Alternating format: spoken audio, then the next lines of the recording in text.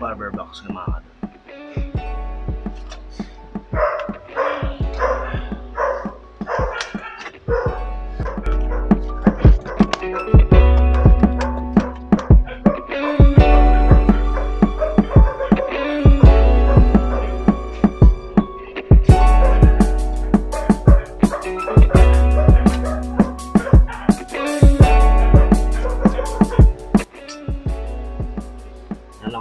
Bago.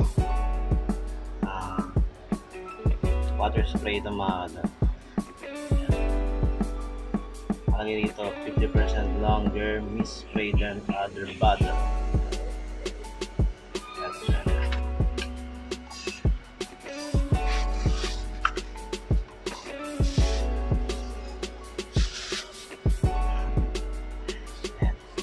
Logo ko na yan mga kadon.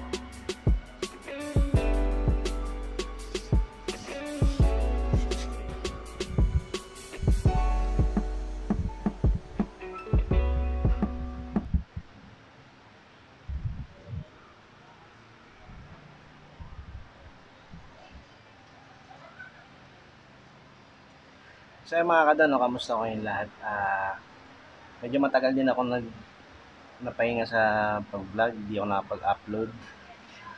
So ngayon, meron ako sa inyo sasabihin ano, isang tip or tawag dito. Ah, barber hack. Okay?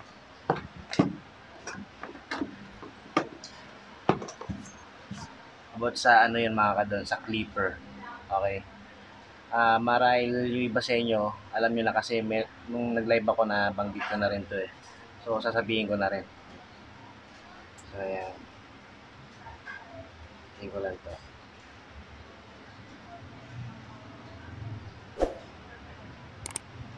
Nagpa-print kasi ako ng sticker mga kato. Ayan o. Ayan. Binugupit ko. Kasi square yung pagkakat niya, hindi siya cut na bilog. Pagawa lang ako ng mga ilang piraso, sinample ko. Goods na. So, dito ko lalagay yung mga magaling ko. Ayan. Lalagay ko yan dito.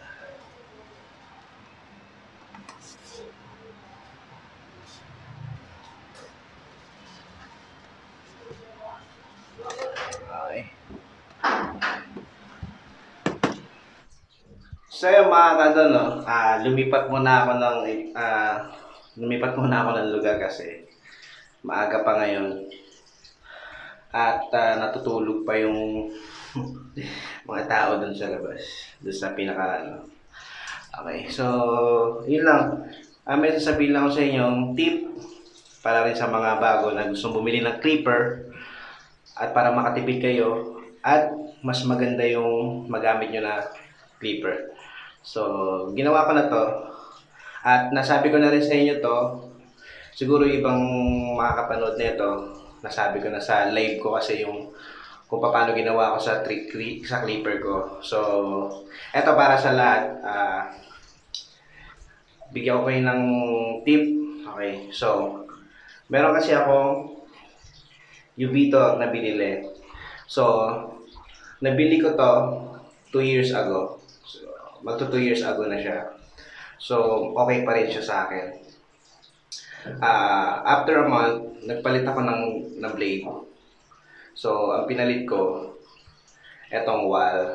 Yan. Wall na blade. Okay. So, kung bibili kayo ng clipper at gusto nyo maganda, maganda ang magiging quality, pero affordable.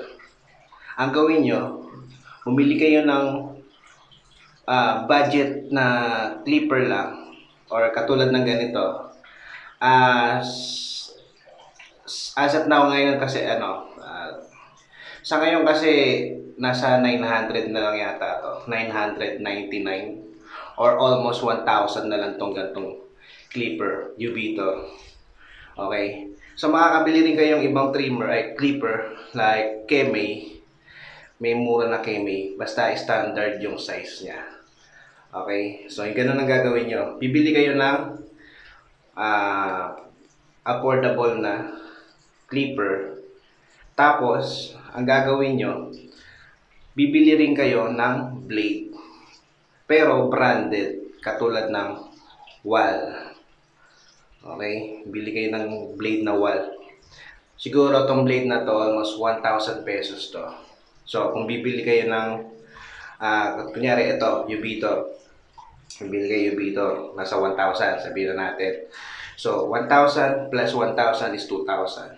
Sa 2,000 nyo, meron na kayong quality na trim, na clipper. Okay. So, yun. Doon nagkakatalo yan sa blade. Okay? So, yun yung pinaka barber hack na masasabi ko, na tip ko na rin sa inyo. Okay? So, yan. Yan ang nagawin nyo mga kadon. Bigyan ko lang kayo ng tip. Kung gusto nyo ng quality na clipper o trimmer, ganun ang gawin nyo. Bili kayo ng original na blade. Tapos, bili lang kayo na kayo ng mga mumurahin na budget na clipper. Okay? Kung saan kayo maging komportable na clipper. Basta yung blade nyo, branded. Okay? Tulad yan. Naka-Ubitor ako, pero ang blade ko ay wall. Kaya sa performance na ito, goods na goods talaga. Maganda siya, di hagod. Okay. So dito na lang mga kadon. Hanggang sa susunod na lang.